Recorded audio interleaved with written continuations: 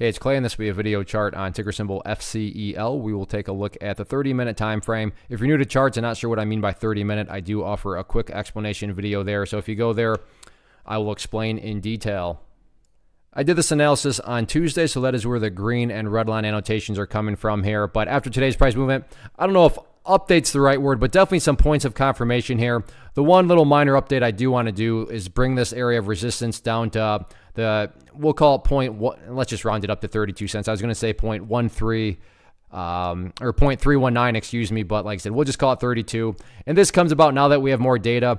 And on the you know the bounce this morning, the price essentially got right up around that area, and then you factor that in where the price has struggled before. So yeah, in the very near term, 32 cents has certainly proved uh, to be that stubborn area where there are sellers sitting up right around that area. So 32 cents, like I said, little minor update there as that that current level of resistance. But really, the the, the big dynamic, and this will mean more to those of you that watched the video from Tuesday. Uh, but for those of you that did, and if not, I'll just you know quickly you know recap it. But I talked extensively about that uh, pink line there, which on my chart is denoting the very famous 200 period moving average. And I said, you know, pretty much the price just struggled, struggled, struggled with it all afternoon long.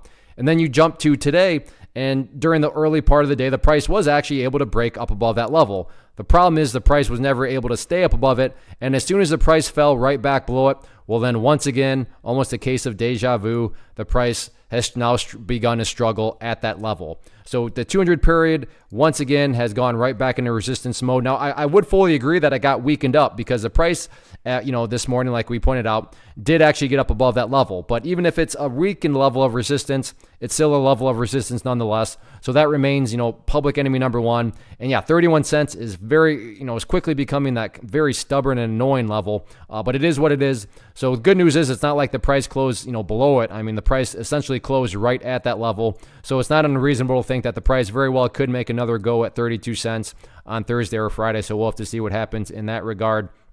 As far as levels of support are concerned, still have 30 cents down here as that area of support and actually got a beautiful bounce off that earlier on in the day. So we'll see what happens with this one as time goes on. Uh, but yeah, still stuck within the overall channel here. Uh, but yeah, as of now, that 200 period moving average definitely kind of the thorn in the side of any sort of uh, you know continued upwards movement.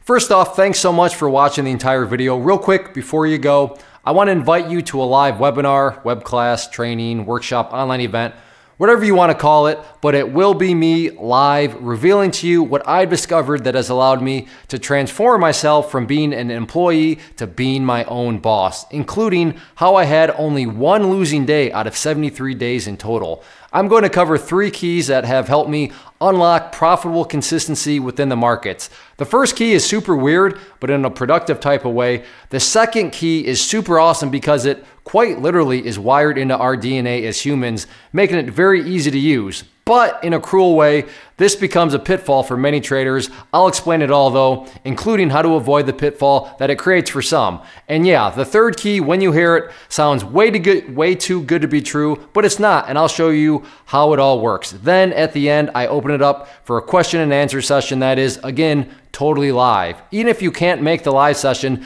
please still sign up as it will be recorded and you can go back and watch the replay that I will send you. Click the image on the screen or click the link down in the description box so you can get the date and time and claim your spot, which I should note is limited due to the fact that this truly is a live event. If you have any questions, let me know. If not, I'll be seeing you soon.